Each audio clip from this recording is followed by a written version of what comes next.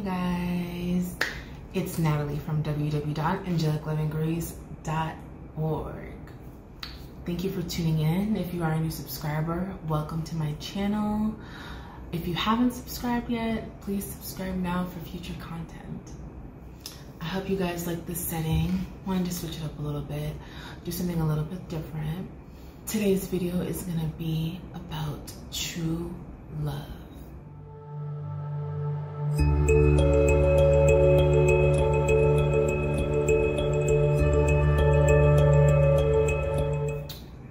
What is true love? Do we really know the meaning or is it based off what we've seen in movies and what we grew up with our parents seeing or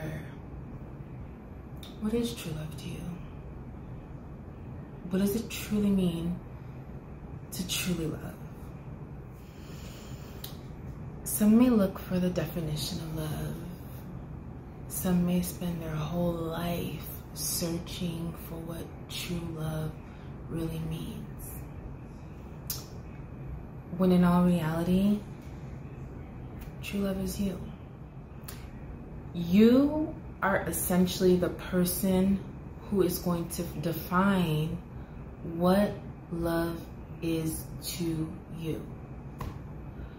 Which is why one can never really find, or when it gets to like talking about relationships and love, it can be so tricky because everybody has their own perception of what love may be, of what love feels like, of the experience of love one may differ from different cultures and what it means to love somebody properly.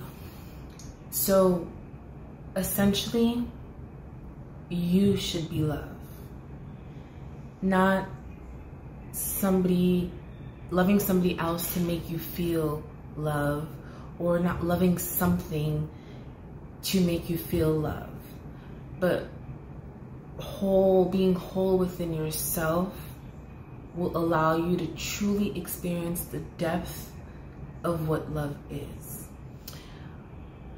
I've learned that our idea of love doesn't come from things that we've experienced in adulthood. Mm -mm fundamentally are how can I say this? Are I've learned that our idea of love doesn't come from things that we've experienced in adulthood or what we've seen in adulthood it comes from fundam it fundamentally comes from childhood early childhood.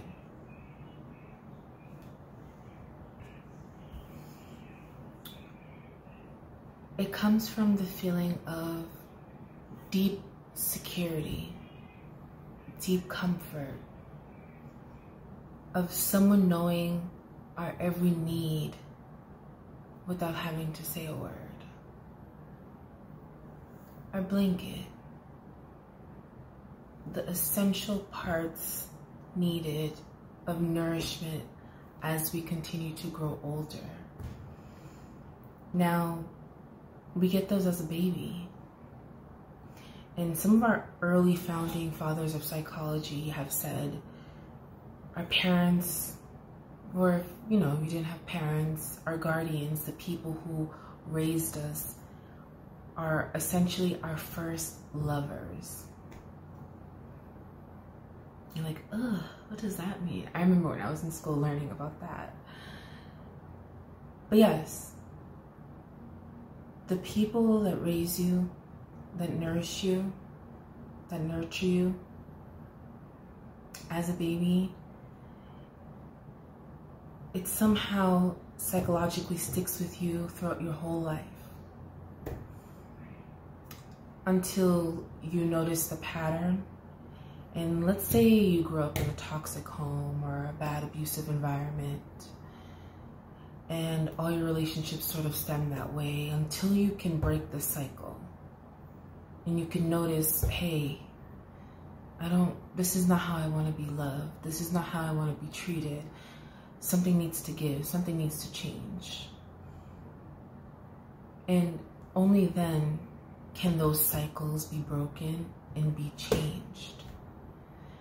And let's say some children, they grow up in a non-toxic environment and they end up having great relationships and, you know, and if it doesn't happen, if something happened in between this and that, the fourth,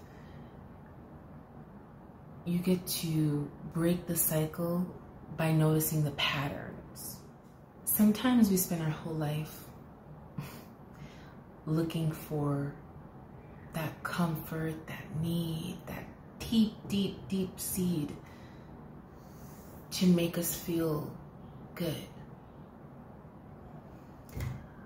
But like I had said in the beginning of the video, true love should be defined by you. You should be loving yourself first, and then everything else will follow.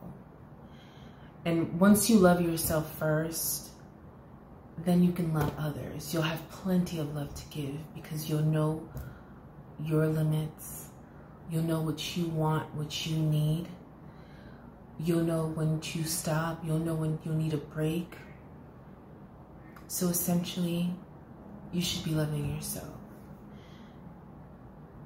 Looking for love outside of yourself usually means that you're not complete. And some people spend their whole life looking essentially for that true love. When in reality, it's in within yourself. You see, when we're looking for love outside of ourselves, we can spend our whole life looking because we're creating a unrealistic type of love in our heads like the fairy tales and that essential starter point of love. And not everybody can meet expectations, unrealistic ones at that. Just think about it. Have you been able to meet someone's expectations? Comment down below. Let me know. Partially, yes you know, we all can meet somebody's expectations partially. But idealistic ones, mm. Mm -mm.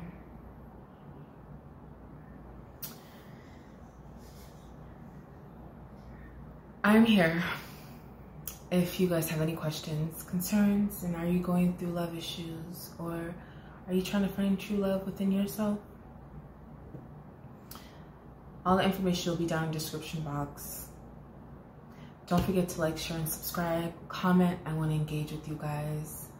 And before I go, do not forget to check out my new skincare line. This is a set that someone just ordered. It's a lotion. smells so good. Honey milk. And we have the soap bar to go with it and we have a little little travel bag. You'll find that on www.onaturalcare.com and I'll see you guys soon. Bye.